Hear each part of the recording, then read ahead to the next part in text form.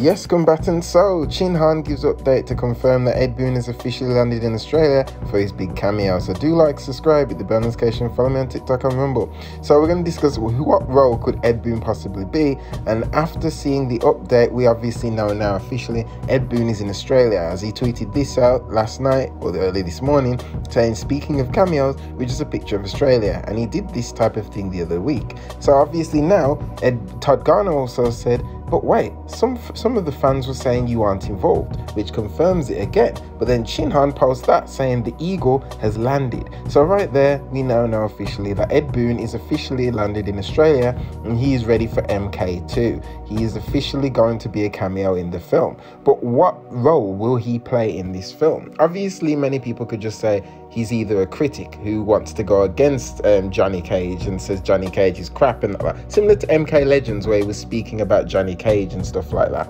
Or it could be possible that he's actually going to be a director in this, someone who wants to make a Mortal Kombat movie and he wants Johnny Cage to star as the role, whoever that character could be in this made up universe. Though I don't really feel like that would be plausible and that would be the right type of thing for him. But what if he's just playing himself and he's playing Ed Boon who wants to create a video game for Johnny Cage, but instead it might be called Johnny's Combat or or Johnny's something something, something bizarre and random for Johnny Cage with him saying, Does it look like I want to get my head ripped off? Those type of things, like little things like that, that nod to the type of games Ed Boon creates. But obviously, in that world, there is no Mortal Kombat, it's something completely different.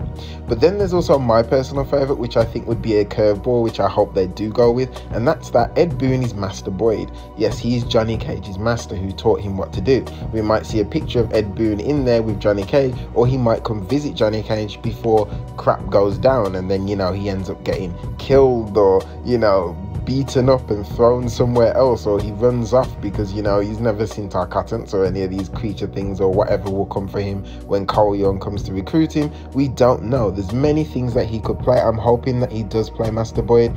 It'd be a really, really cool role for him to play. Seeing Ed Boon in some type of robes or something like that.